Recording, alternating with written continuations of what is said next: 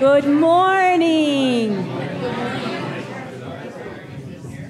Those back rows, they get you in trouble all the time, don't they? I might have to send a teacher back there.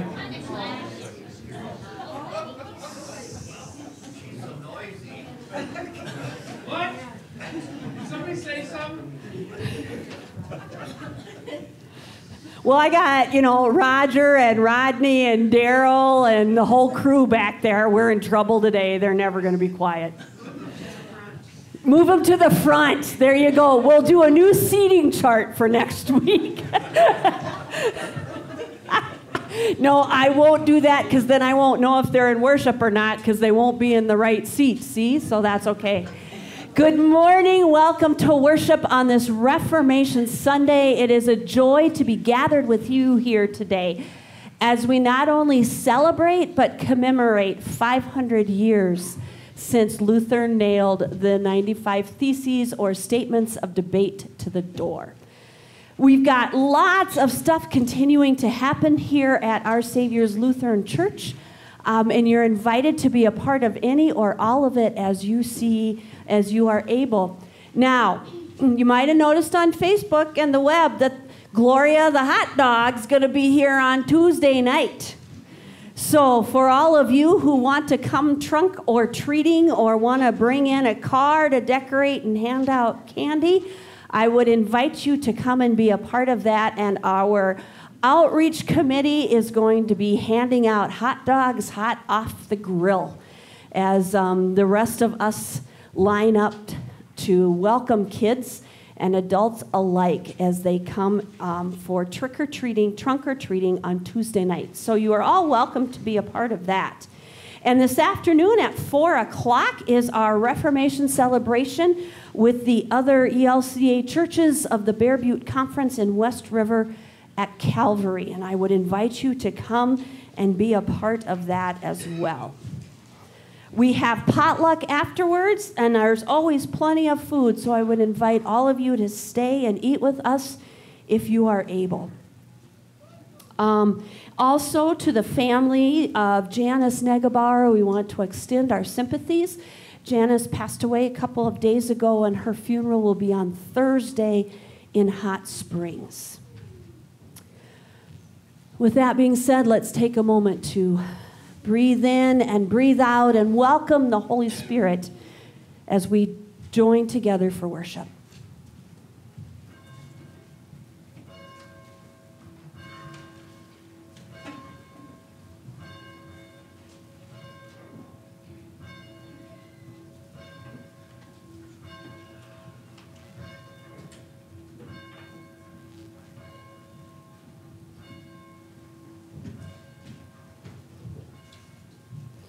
Please rise.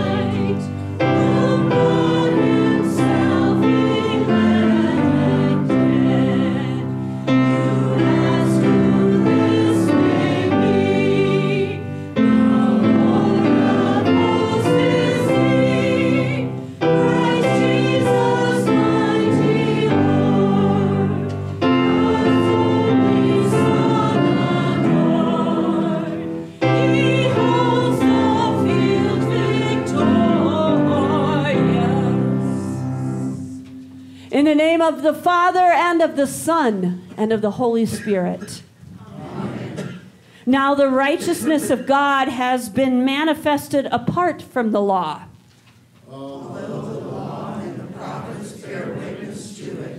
The righteousness of God through faith in Jesus Christ for all who believe. For there is no distinction. For all have sinned and fall short of the glory of God.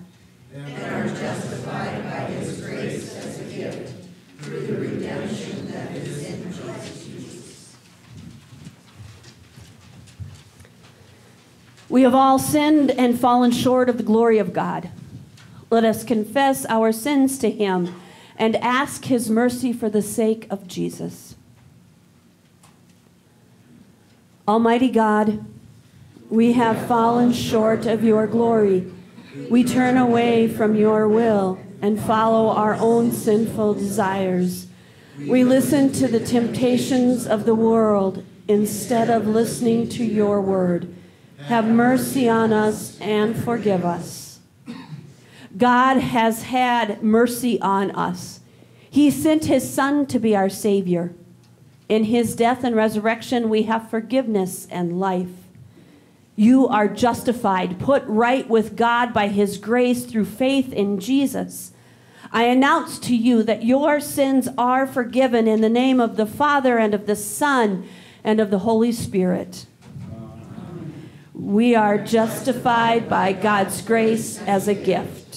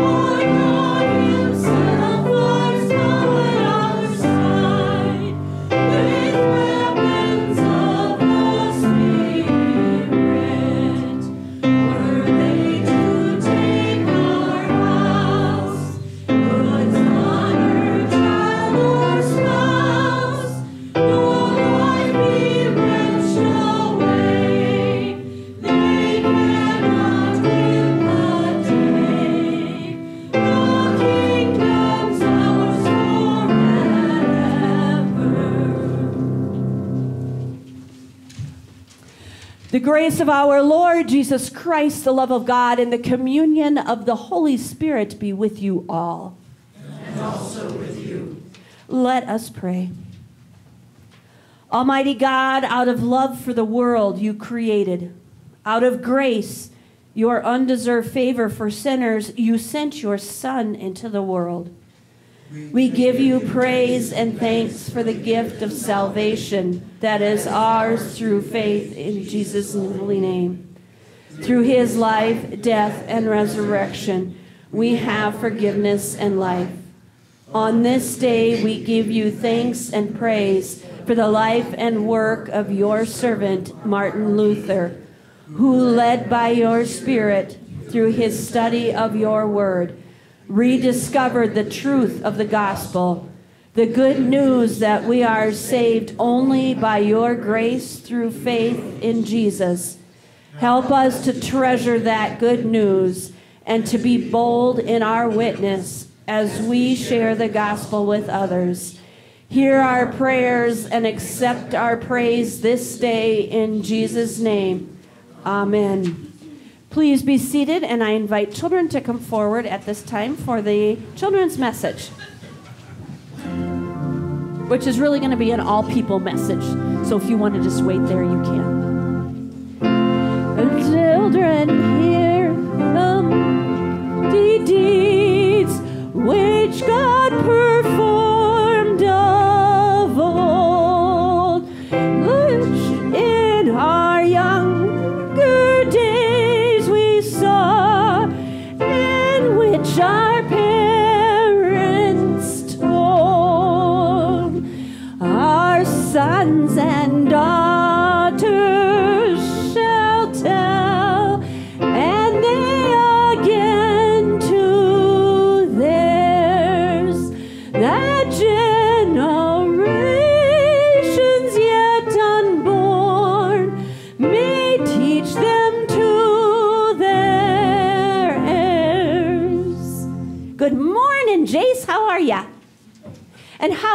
Doing today?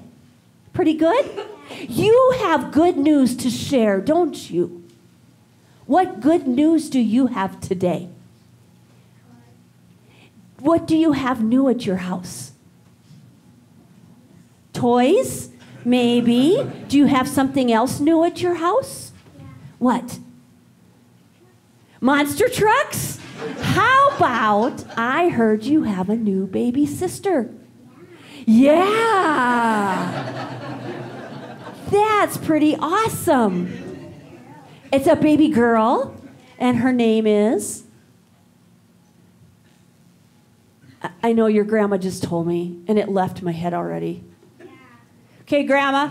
Aurora. Aurora. I knew it was a princess's name. I just couldn't remember which one. Yeah. Do you like her?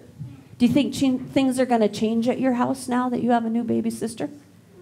Probably a little bit, right? Jace, anything new and exciting at your house? Do you have a new baby sister at your house? No. no new baby sisters at Jace's house, just older sisters. Today we're celebrating 500 years of Reformation. That's a long time, isn't it? Do you think anything has changed in the church in 500 years? Do you think we're doing anything different than we did when Martin Luther was around 500 years ago? What do you think? How about you guys out there, you big kids? Anything changed in the church since you were these guys' age? Like what? Tell them about church when you were little. No women pastors. No women pastors. Yep. I wouldn't have been here. Now, some of you guys, I don't need any. Wish we could go back to that, okay? Don't need any of that today.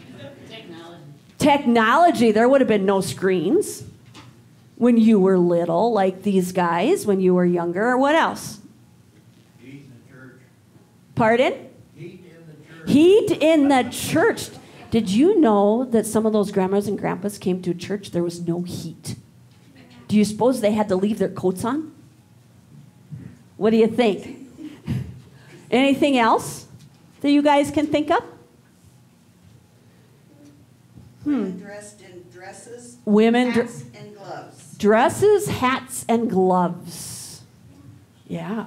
And did you know there was a time when women sat on one side with the kids and men sat on the other side? You, we don't have to wear gloves yet, do we? Because there's no snow yet. That's right. That's right. And at one point in time, the service was only in Latin or German or Norwegian or Polish or Danish or wherever you were at. Yeah, I wouldn't have understood a word. Yep, the church has changed. Do you think you're going to see some changes as you grow older? I think so. I think so. Yep, I think there's going to be some changes. But you know what the most important thing is? We're still going to worship God Father, Son, and Holy Spirit. And God's still going to love us and forgive us. And we're still going to believe that Jesus died for us. And that's what's important. That's what's important. So let's pray. God, I thank you for the changes as your people change, God, so that we can meet you in different ways. And God, I look to our young people and I know that they will be the reformers of your church as well. So, God, be with them and be with us and allow us older people to have open minds and open hearts so that we can reach out to engage others in your word and in your love, even if it looks different than what we grew up with. We pray this in Jesus' name. Amen. All right, I got the candy hiding back here. Jace, do you want to get the candy basket for me? Huh? All right. I will get it. I will get it. And we will sing our last verse as the kids head on back. To learn that in our God alone their hope securely stands, that they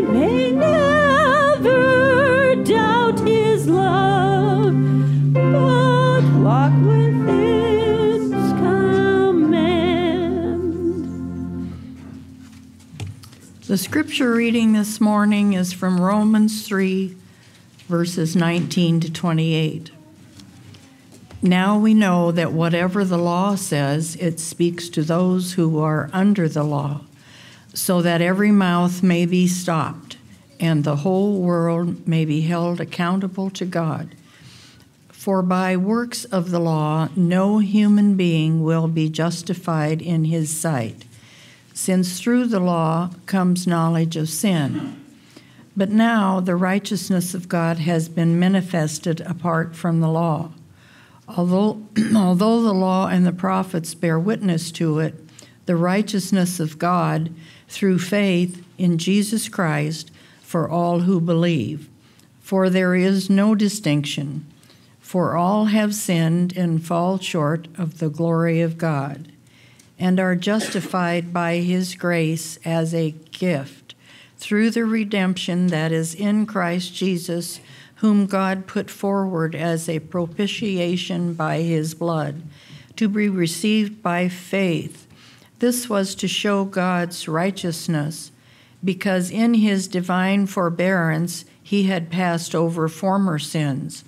It was to show his righteousness at the present time so that he might be just and the justifier of the one who has faith in Jesus. Then what becomes our boast of our boasting? It is excluded. By what kind of law? By a law of works? No, but by the law of faith. For we hold that one is justified by faith apart from the works of the law. The word of the Lord. Thanks be to God. We sing together God's words, our great heritage.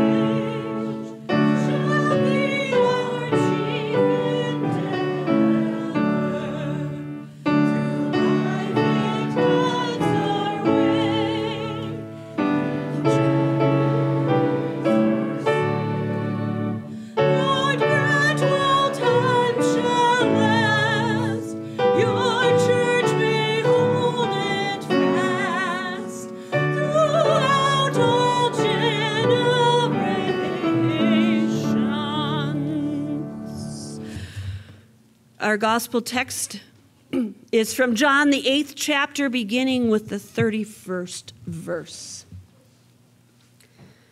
Then Jesus said to the Jews who believed in him, If you continue in my word, you are truly my disciples, and you will know the truth, and the truth will make you free. They answered him, We are descendants of Abraham and have never been slaves to anyone. What do you mean by saying you will be made free? Jesus answered them, Very truly, I tell you, everyone who commits a sin is a slave to sin. The slave does not have a permanent place in the household, the son has a place there forever. So if the son makes you free, you will be free indeed. The word of the Lord.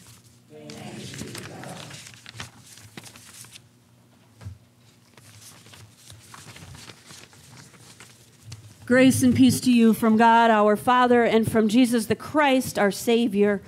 Amen. Okay, we have a little confession time here. I won't make you come up front like in Luther's time to confess, but a little tiny show of hands would be okay. How many of you have ever gotten a speeding ticket?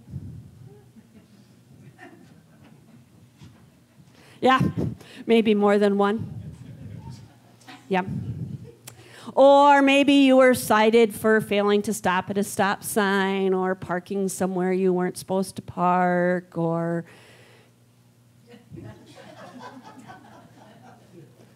There's a whole lot of giggling going on around here.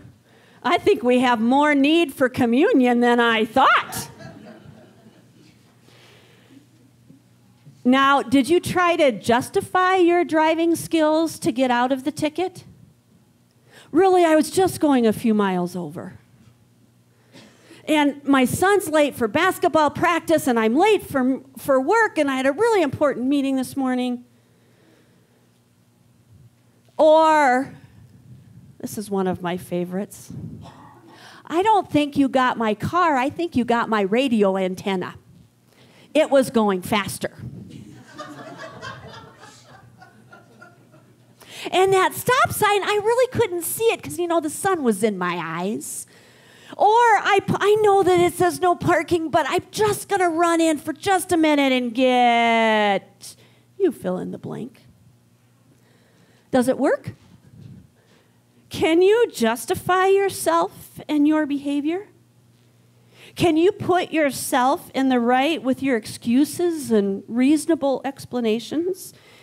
You know, we're really good at that. We've been attempting to do that for a really long time. In fact, it's in our DNA. Think back to the garden and when God approached Adam and Eve and said, Have you eaten of the tree of which I have forbid you? Adam's first words are, She made me do it. yep. And Eve's next words are, the serpent made me do it. Right? Trying to justify our actions. We've been trying to excuse ourselves for a really long time to get back into God's good graces or at least to put our own minds at ease. Our gossip? Well, it's just a little bit, and everybody knew that already. Everyone else is doing it. And I'm, you know, really not sharing anything anybody doesn't already know.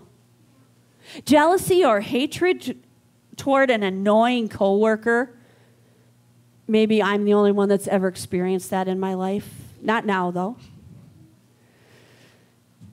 Well, at least I'm only thinking those thoughts and I'm not acting upon them.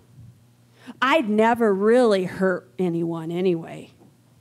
Greed, dishonesty in business dealings or taxes, well, it's not like I'm robbing the bank or anything serious. The government gets enough money, right? And just in case, just in case, especially to cover all of our bases, usually, especially when we're in trouble or illness, we may try to put ourselves right with God to make sure that we are in good relationship with Him, to get on His good side, so to say. So we make these promises with God, right? I'll go, what if I go to church just a little bit more often? I'll try to go twice a month instead of once a month. Or maybe what if I put an extra couple of dollars in the offering plate? Or I'll make a better effort to go to the next Bible study, or maybe I'll make a better effort to volunteer the next time they need something. It's not exactly making a deal with God, but maybe he'll be impressed just a little bit. Well, let me tell you, based on what I've read, God is not impressed. Nothing that we can say or do will restore our relationship that our sin and rebellion against God has destroyed. Scripture says, Whoever keeps the whole law but fails in one point one point, has become accountable for all of it. Still, we try. But how much effort is good enough? Is 50% good? Will God meet us halfway? How about being good 85% of the time or 90% of the time? Or is even 99% of the time good enough? Well, according to Jesus, that is not enough. In Matthew, we hear his words You therefore must be perfect as your heavenly Father is perfect. We can't measure up ever. And in fact, Scripture says we are dead to sin. And Luther knew that. For those of you who have might were have been able maybe to watch the Luther movie that was on PBS or that was in the theaters, or maybe you have the old Luther movie, you will see that for Luther, being good enough for God was like his life's ambition. Because he was living in a time where you had to do things to earn God's love and God's forgiveness and God's grace and God's mercy. And Luther was plagued with the knowledge that he could never be good enough. And he strove every day of his life to try to be good enough. He would go to his confessor and he would confess for hours and hours and hours on end, making sure he did not miss one single little thing. And then when he was done and he went back to his room, he would turn and go back to his confessor because there was one thing he forgot. And he didn't want to take the chance that he had forgotten to repent of some sin so that he could not be forgiven. His confessor, it is said, would tell him at different times, Luther, go away and come back when you actually sin. What right, Luther would say, do I have? What right do I have to be the bearer of God's word, to administer the sacraments? Me, just a lowly, sinful person. And then he delved into Scripture. And he discovered texts like we just heard in Romans. For by the works of the law, no human being will be justified in his sight, since through the law comes the knowledge of sin. And you see, that's where Luther's teachings had stopped, or what he had been taught had stopped. But he kept reading, and he found these very important sentences for there is no distinction, for all have sinned and fall short of the glory of God and are justified by his grace as a gift through the redemption that is in Christ Jesus, whom God put forward as a propitiation by his blood to be received by faith. We are made right with God we are justified. We are saved by grace through faith in Jesus Christ. And this is a gift. This is not something we can earn. This is not something we can achieve. This is not something we can buy. This is a gift of God. If I could do the purple exploding heads like the commercial, I would do that. Because for Luther, that's exactly what happened. His mind was blown away. He did not need to earn his righteousness with God, it was a gift. He realized that if we could earn our own way to God's righteousness to be made right with God, why did Jesus have to be sent to die for us? Because it is in faith through Jesus Christ that we receive this gift. And it changed the world. Luther only wanted to debate some of the teachings of the Catholic Church at the time. Luther wanted everyone to be able to go back into Scripture and say, why is it we believe this when this is what God's Word truly says? Luther never wanted to break away from the church, but yet, this idea, this knowledge that transformed Luther transformed the world. And 500 years ago, he debated and he took a stand. Uh, here I stand on this word of God, and unless you can show me in Scripture, I will not be moved. And what started actually more than 500 years ago grew and grew and grew and grew. And here we are today, celebrating, commemorating believing the very same words that Luther found in Scripture and believed. We are saved by grace through faith in Jesus Christ, and nothing can change that. Here we stand. But in my opinion, although it has been wonderful to, to think about the past, to learn again what it means to be part of the Lutheran Church, to review what it was that brought about the Reformation of the church in general. To hear about those important theological reflections that Luther came across in God's Word, in baptism, in Holy Communion, in vocations, in two kingdoms, in being justified by grace as a gift, I don't think we get to stay there. We've spent a whole year focusing on the past as a church as a whole so we could celebrate on, on Tuesday not only Halloween, but the 500th anniversary of the nailing of the thesis.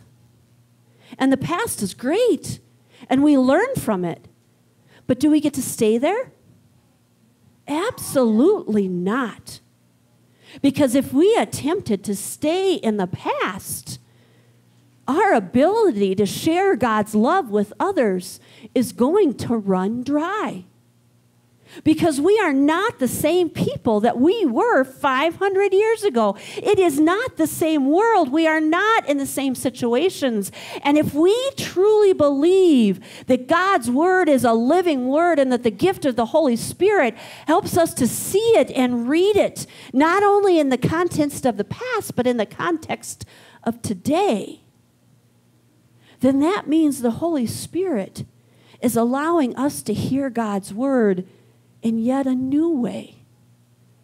And we struggle and we think about how do we uphold the traditions that we have, the, the doctrine that we have, the beliefs that we have, but still reach out and engage a world that looks so much different than it did even 20 years ago.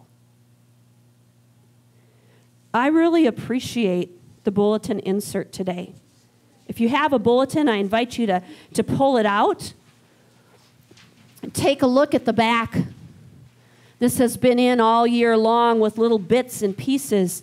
And today, today, the important question is asked Does being a Lutheran matter?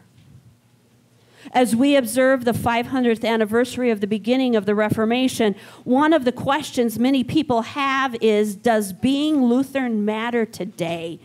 And if it does, why? Put another way, why are we still talking about Martin Luther, what he did, and why he did it? Does being a Lutheran matter today?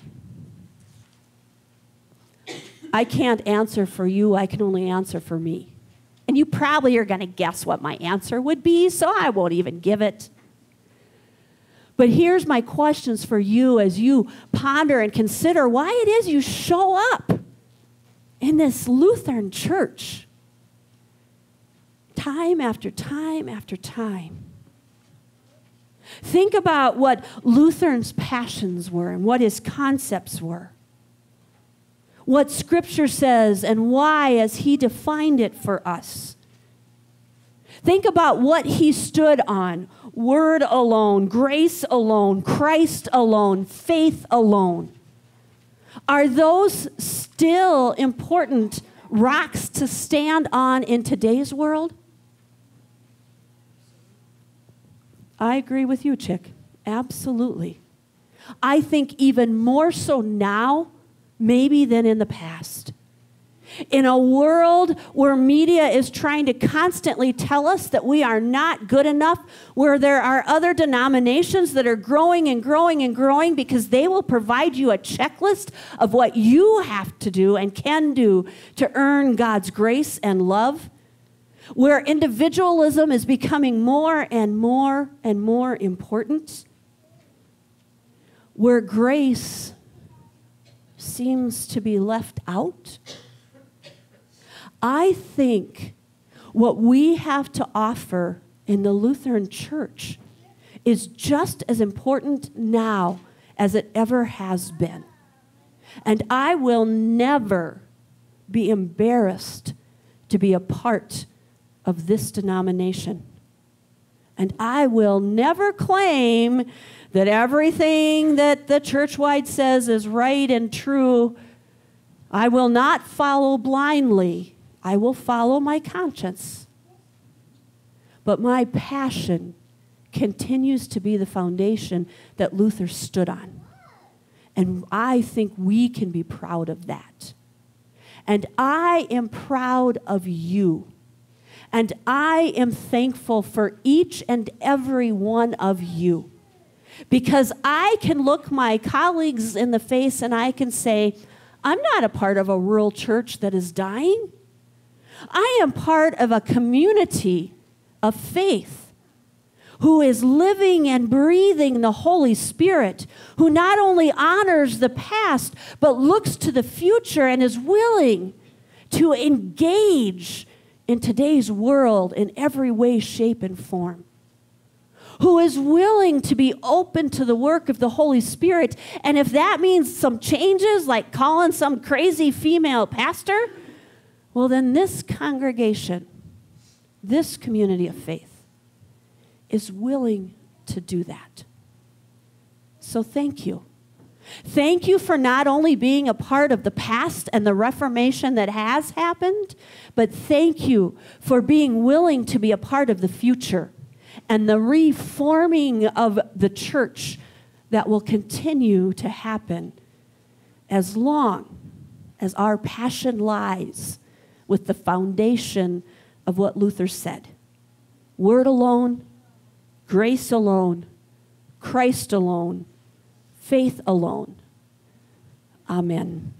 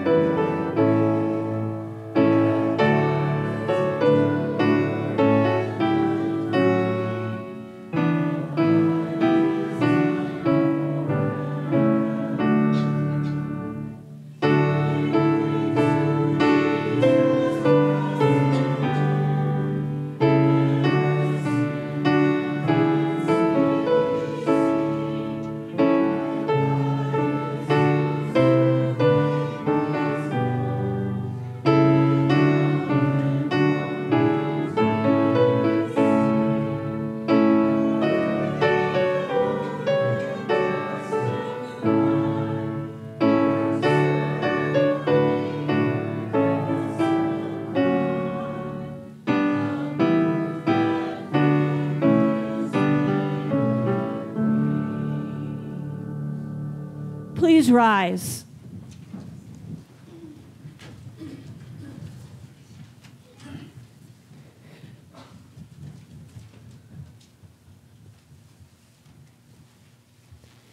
Journeying together in trust and hope, let us confess our faith in the words of the Apostles' Creed.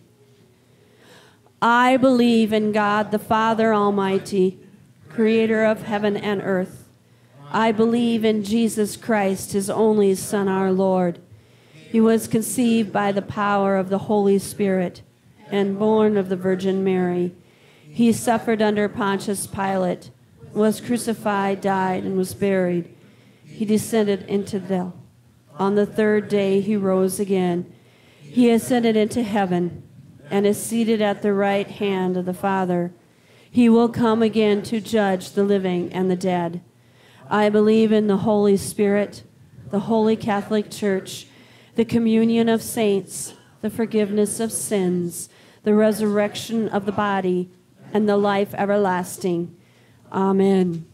Today, for the prayers of the people, I invite you to take the insert that is in your bulletin. And does anybody need a bulletin? Because I've got two, they're boys, they're right beside you if you guys need one. Anybody else need another one? All right, if you would take that insert out, and we will read together the prayers. I will read the italicized, and you please read the bold print.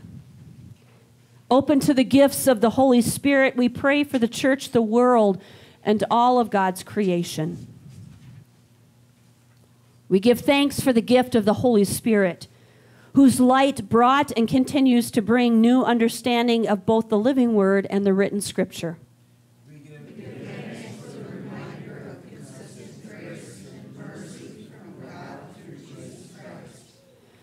We are grateful for the inspiration that led to the printing press, enabling the spread of information and the sharing of the gospel in many languages. We thank God for the technologies that can be used for good for this heart of communities and individuals. Generous God, we thank you for open hearts that were prepared to hear and receive the good news of freedom in Christ. We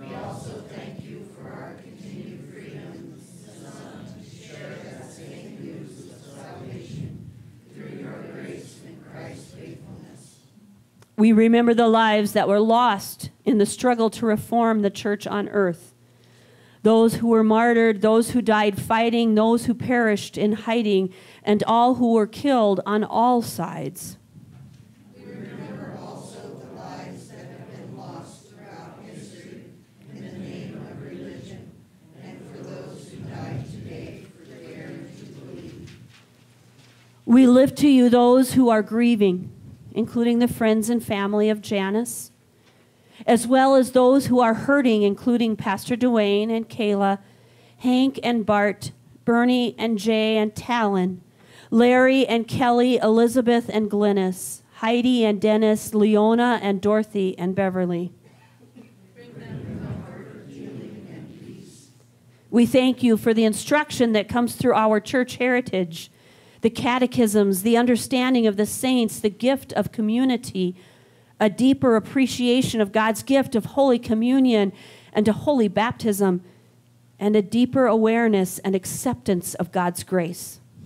We thank you for the presence of Jesus Christ in us, with us, and for us, and for the support of the Holy Spirit, ever reforming us. God of stability and change, we thank you that true reformation is always your work and always being done in us out of your love for your whole creation. We are ever reformed by the work of your love. We are ever reformed by the work of God's love. Amen. You may be seated. As we gather together our offering, I want to thank you for your generosity. For those who did not hear, your generosity helped feed 81 people on Wednesday night um, for our during our dog night ministry, as well as many other ministries. So thank you. Today is our last day for our current mission of the month um, for our veterans and active duty military. So thank you for everybody who has donated to that as well.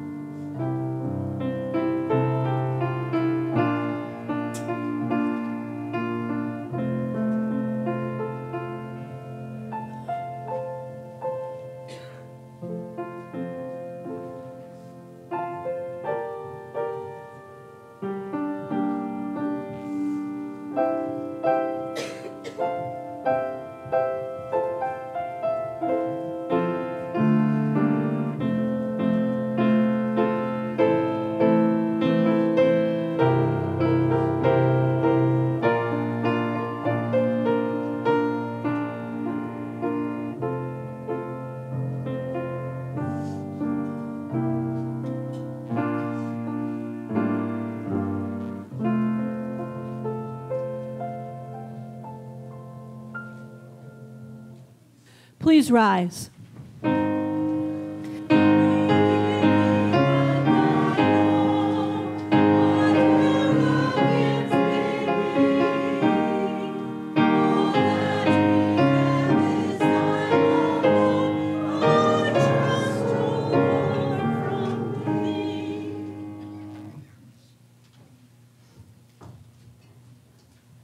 In the night in which he was betrayed, our Lord Jesus took bread, gave thanks, and broke it and gave it to his disciples, saying, Take and eat. This is my body given for you. Do this in remembrance of me. And again, after supper, he took the cup, gave thanks, and gave it for all to drink, saying, This cup is the new covenant in my blood, shed for you and for all people for the forgiveness of sin. Do this in remembrance of me. Let us pray together the prayer that our Lord taught us. Our Father, who art in heaven, hallowed be thy name. Thy kingdom come, thy will be done, on earth as it is in heaven.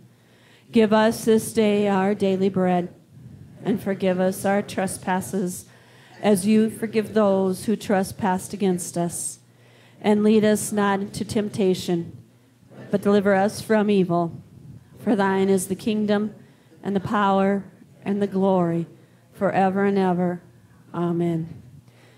Please be seated.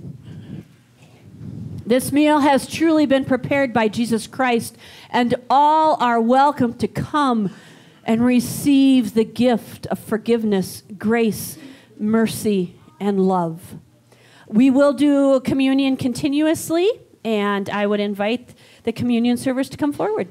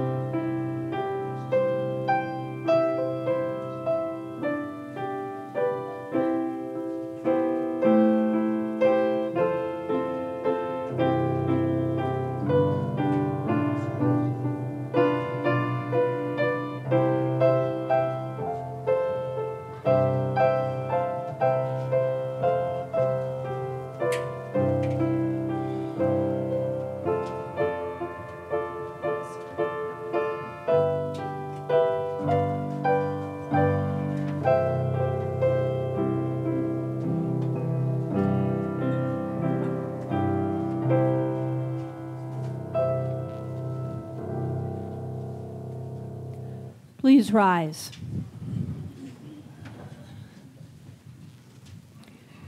The body and blood of our Lord and Savior Jesus Christ strengthen you and keep you in his grace. Amen. Let us pray. God of abundance, with this bread of life and cup of salvation, you have united us with Christ, making us one with all your people. Now send us forth in the power of your Spirit, that we may proclaim your redeeming love to the world and continue forever in the risen life of Jesus Christ our Lord. Amen. Okay, now before we have the benediction, I was standing up here noticing how good looking this crowd was today in their variations of red, so I have to take your picture. Okay, are y'all smiling? Because I'm sure we'll be able to see every one of you. Okay, one more. Yep, I see the lights. Oh, I need new batteries in my camera. Who would have guessed? All right, we got to get a picture of Marie over here. Is Connie hiding at the organ? Yep, that's what I thought. Okay, now we'll go over here and we'll get a picture of Connie hiding at the organ. Stay right there, I got you covered. Now, y'all have to go on either the website or Facebook to check these out. Okay.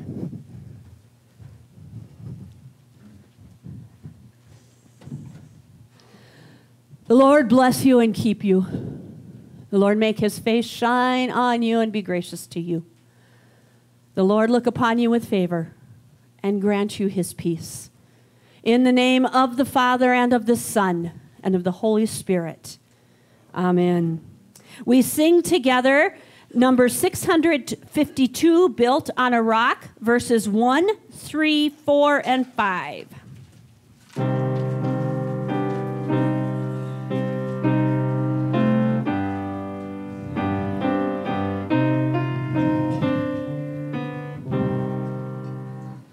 Built on a rock, the church shall stand.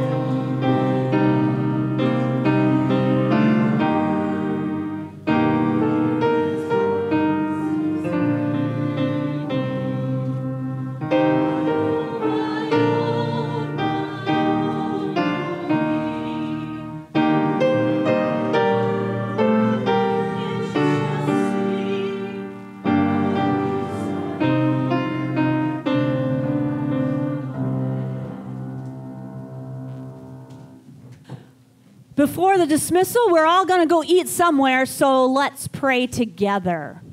Sing with me if you know this. Be present at our table, Lord. Be here and everywhere adored. These mercies bless and grant that we may strengthen, may strengthen